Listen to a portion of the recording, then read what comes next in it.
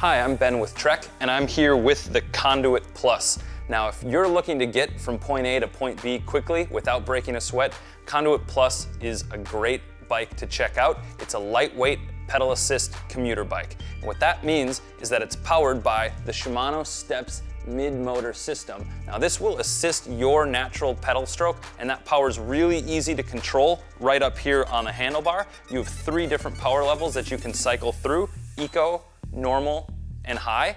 Now the motor and the battery for this system sit really low on the bike. That creates a stable ride. The end result really is that it feels just like riding any other normal bike, except you get to go faster while pedaling easily. Now the handlebar display right here will show you exactly what power level you're on, how many miles you have left on the battery, and the battery power that you've got as well. But Conduit Plus is a lot more than just a pedal assist bike.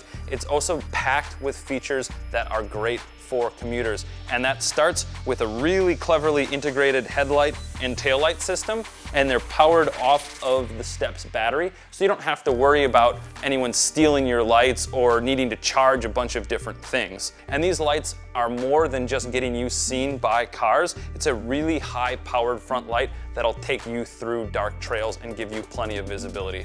Other really great features, you've got full coverage fenders, so it keeps your clothes clean and you won't have to change when you get where you're going. A nice slim cargo rack will easily take panniers and a U-lock, and you've got disc brakes for great all-weather performance.